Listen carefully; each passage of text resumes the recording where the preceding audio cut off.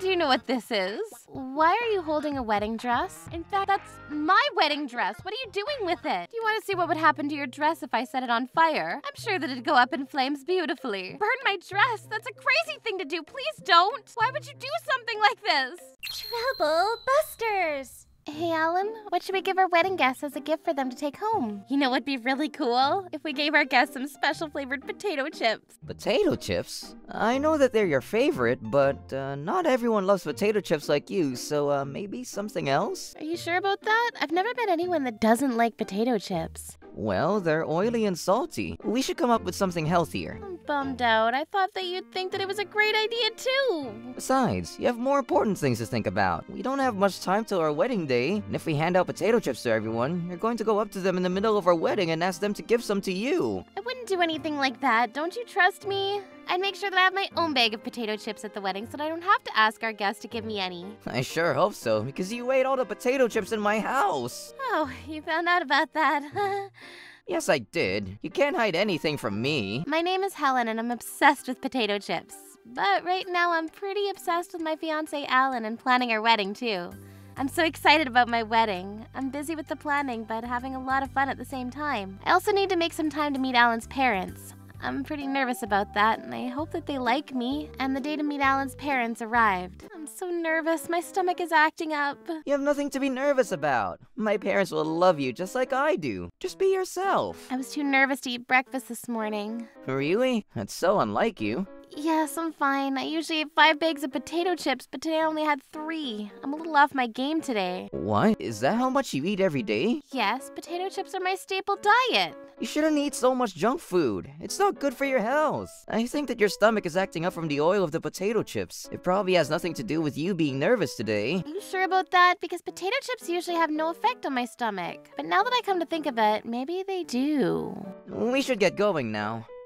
Okay, I then went to Alan's house to meet his parents for the first time. Thank you for having me today. It's so lovely to meet you. Alan's told me so much about you. Hello, Helen. Nice to meet you in person as well. Make yourself at home. Alan, Helen is very beautiful, just like you told us. Oh, you're too kind. You are beautiful, Helen. Stop it. You're making me blush. I brought over a bottle of wine since Alan told me that you both drink wine. That's very kind of you, Helen. Thank you. I'll open the bottle later for us to share. I'm glad that you like it. Let me get dinner on the table. I also bought a few kinds of potato chips. Alan tells me that you love them. Wow, thank you. That's really cool of you, Mom, but uh, You're gonna have as many potato chips as you like. I will. I'm so happy. I just love potato chips. but you already had three bags this morning. Mom, Dad, please don't allow Helen to eat any more potato chips. It's not good for her health. Today is the first time that we're meeting Helen, and we wanted her to do as she pleases. Helen, don't mind Alan. Thank you. Alan's parents seemed really nice, and I was getting along with them fine. Alan was right, I had nothing to be nervous about. His potato chips are delicious. I'm so glad that we have that in common. I recommend using mayonnaise as a dipping sauce. That sounds good. Let me try it. You're right, these potato chips taste even better with the mayo. Uh, you two, don't get carried away. I can see Helen and your mother getting along well. I'm so happy. You're lucky to be marrying someone like Helen. You two make a great couple. By the way, Helen, Yes? what is it that you do for work? I'm an illustrator. That sounds interesting. Yes, I love that it allows me to be creative. I'd love to see your illustrations sometime. Better yet, would you be able to draw a facial caricature of me? I'd love to. Please draw me with a pretty face, though. Yes, of course. Where do you commute to for work then? Actually, I work from home because my hours are very flexible. I work as a freelancer. Hmm, I see. I used to be a full time employee at a company and was doing work as an illustrator on the side, but since I was doing pretty well as an illustrator, I decided to make that my main job. Working from home, huh? What does working from home mean, though? Helen is an independent freelancer and gets project related work from her clients. She makes more money than I do, and on top of that, she has the freedom to work from home. She's a really popular illustrator. I'm not that popular, but I do have a stable income, and I'm very grateful for that. Okay, so you won't be relying on Alan's income then. You're financially independent, huh? Our neighbor Ted claims to work from home, but in reality, he lazes around his house all day and barely makes any money. I heard that he still relies on his parents for money. Yeah, I think he earns money from affiliate marketing, but I guess his income is unstable. Poor guy. Well, you have nothing to worry about because Helen is making good money unlike Ted. Right now, Helen has her own apartment, and her rent is pretty expensive too. But being a freelancer sounds risky to me. Helen, would you consider working full time at a company again? Isn't it more secure? Hmm.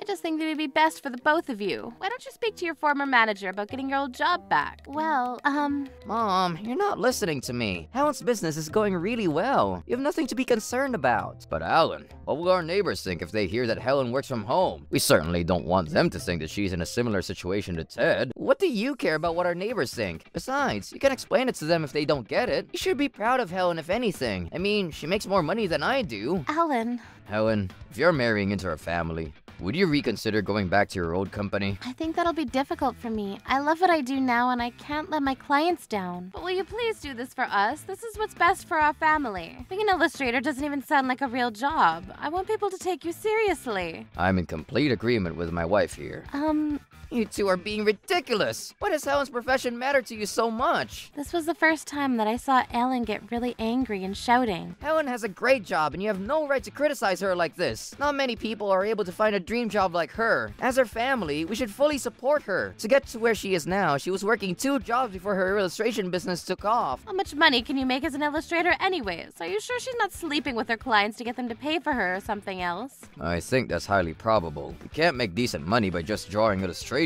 That's a crazy thing to say. Of course I would do no such thing. I can't believe how this day is turning out to be. This was supposed to be a happy day for Helen and I. I didn't think that my parents were so shallow. I'm so disappointed. I don't want you two to come to our wedding anymore. In fact, I'd like to cut all ties with you. Calm down, Alan. There's no need for you to do that. We were only trying to look out for you. We want what's best for you and for Helen. That's right. We're only trying to protect you. We're not saying these things to hurt you or Helen. Helen, we've wasted enough time here. Let's go. Um, okay, thank you for having us. Goodbye. Wait, don't go. Alan ignored his mother and pulled my hand, signaling to leave the house with them. Helen, I'm so sorry about all the ridiculous and hurtful things my parents said to you. I'm so ashamed. I don't want to have anything to do with them after what they did. Uh huh. I hope that you're not reconsidering marrying me after meeting my parents. I don't blame you. That's not how I feel at all. I'm marrying you, not your parents. I love you more than anything in this world, and I can't wait to get married to you. Helen. And I was really happy when you defended me like that in front of your parents. Oh, Never had anyone do something like that for me. It made me realize how much you support me. It's going to be hard not to have your parents' blessing, but I think that we'll be happy together. thanks, Helen. I was more in love with Alan now, knowing that he would do anything to make me feel safe. I could depend on him to protect me from any undesirable situation that might come our way. I was shocked by Alan's parents' words, but over time, I'll get over it. One week later, I received a phone call from Alan telling me that he was coming over to my house to see me and that he was bringing his parents with him. We're so sorry for all the terrible things that we said to you last week. I'm so sorry, too. I hope that you'll forgive us. They seemed to really regret what they had said to me last week and were asking for my forgiveness. My parents wanted to come see you and apologize for their rude behavior. You don't have to accept their apologies if you don't want to, though. We feel really bad about what we said to you. After our conversation, I looked up your profession and realized that being a successful illustrator is a very coveted position to be in. We shouldn't have said those things without fully understanding your situation. We've come here to ask you not to cut all ties with us, please. I mean, we'd like to be a part of your family, especially when you have a child together. Please, do forgive us. Well, thank you for coming over. Does this mean that you'll forgive us? Are you sure? Yes, I'd like all of us to get along. Thank you for being so understanding, Helen. Thank you.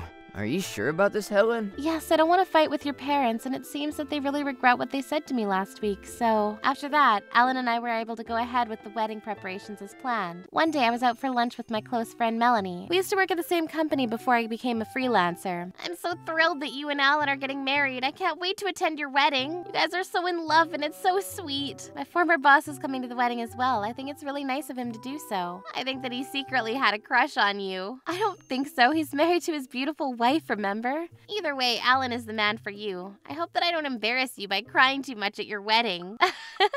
I can so see you crying at the wedding. Oh, by the way, I have a present for you some potato chips. I bet you've never tried this flavor before. It's an acquired taste, so not sure if you'll like it though. Thanks, Melanie. I'll let you know my thoughts after trying it. It's a very thoughtful present. I love trying out new flavors. You're a great friend. I have some more gifts that I'd like to give you, but it's still a surprise. I opened the bag of potato chips that Melanie had given me as soon as I got home. It really was an acquired taste. At first, I didn't like it at all, but after a while, I started to like it. How bizarre. I gave some to Alan, but he said that they were gross and threw up in the bathroom.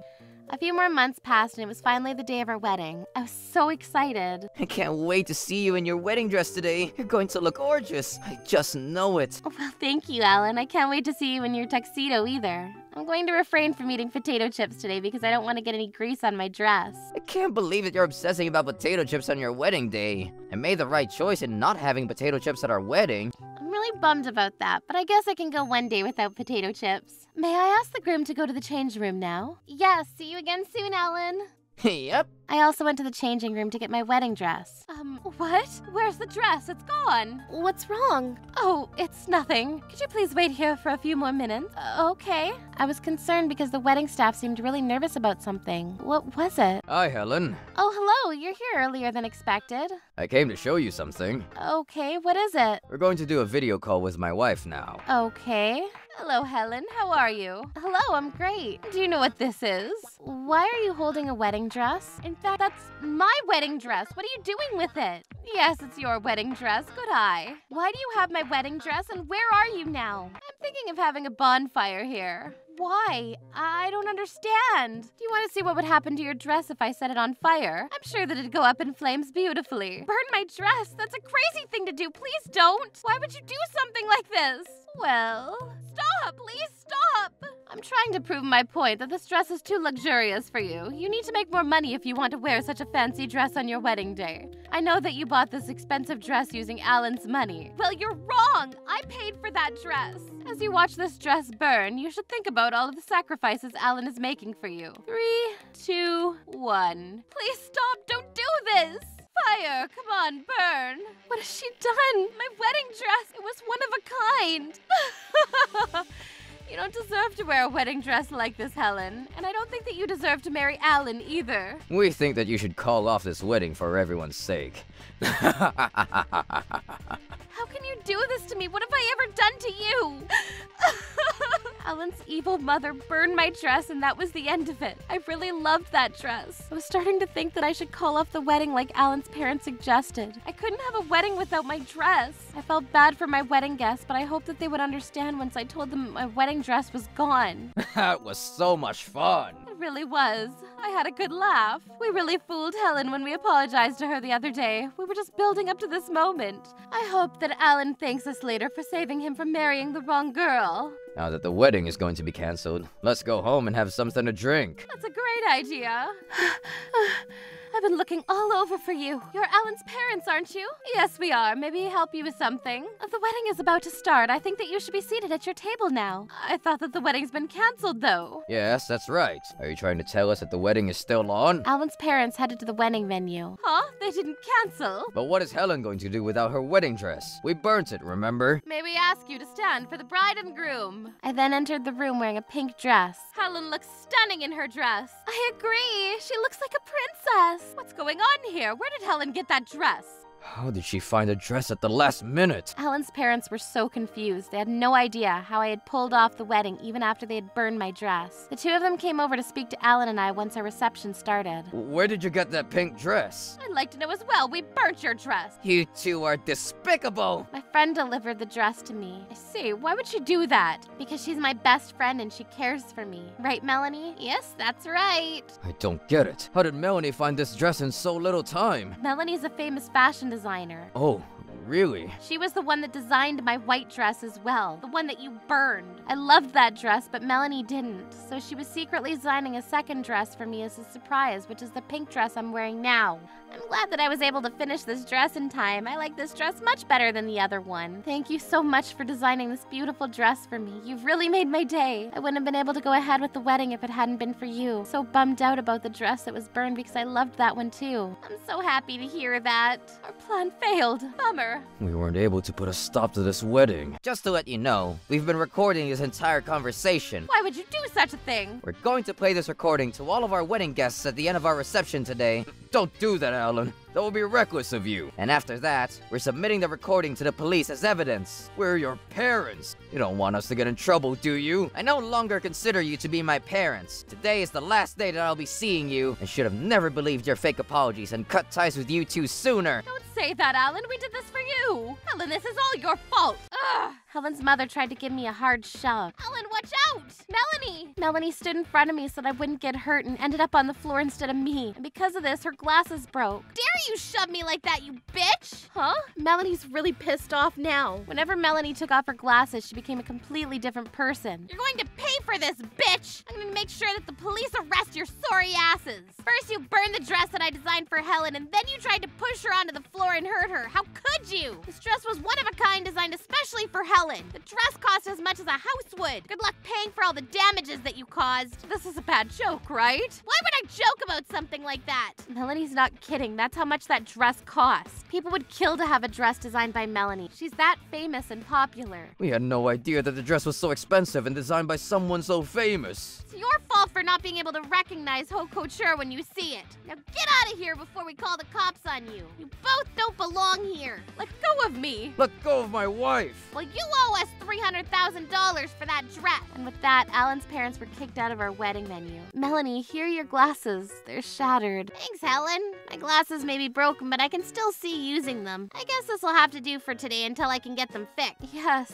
Was I a little too harsh on Alan's parents? No, you were fine. Thanks for helping us out. You were like Superwoman, very strong and cool. Now that my parents are gone, let's get back to our wedding party. So this is what happened to Alan's parents after our wedding. All of our wedding guests listened to the recording of our conversation with Alan's parents. Our guests were livid and didn't want to have anything to do with Alan's parents after that. Alan and I cut all ties with his parents too for obvious reasons, and we notified the police about what they'd done to my wedding dress. Alan's parents were arrested for arson and assault, and they were both sent to prison. Even after they got out of jail, they still had to pay $300,000 for the designer dress that they burned. Life was not going to be easy for them anymore. As for me, I was reminiscing about my wedding with Melanie. I still can't get over how gorgeous the dresses that you designed for my wedding were. Thank you so much for doing this for me. This was the best gift ever. But I feel bad about accepting a dress that's so expensive. Are you sure that you don't want me to return it to you? Yes, I'm sure. I want you to keep it. And I designed the dress for you, so I don't want anyone else to wear it. After all, you were the one that convinced me to become a fashion designer in the first place. If it weren't for your support, I wouldn't have been able to come this far as a designer. So thank you.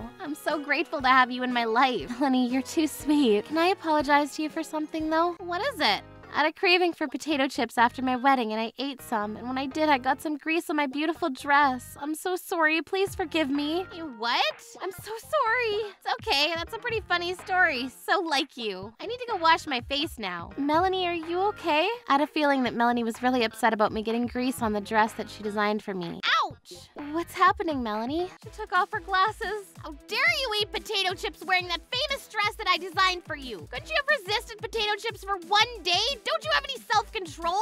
I won't forgive you for this. You're a potato chip junkie. You really do turn into a completely different person without your glasses.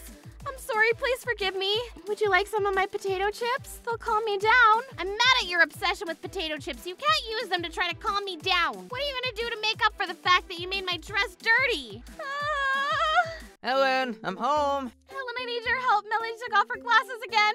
I bet you did something bad to make her angry, though. And I bet it has something to do with potato chips. You're not gonna help me then? You need to deal with this on your own. After that, Melanie lectured me what felt like hours. And Alan just sat there watching me get scolded. In this moment, I'm kind of having a rough time, but apart from that, I'm very happy to have both Alan and Melanie in my life. My career as an illustrator is going really well too. I'm grateful for my happiness, and I'm going to work even harder to become happier. Troublebusters. Helen, are you even listening to anything that I'm saying? Helen, will you help me put Melanie's glasses back on? She's really scary without them. I think it's about time that someone told you off for eating too many potato chips. I think you need to be scolded a little longer for Melanie's message to kick in.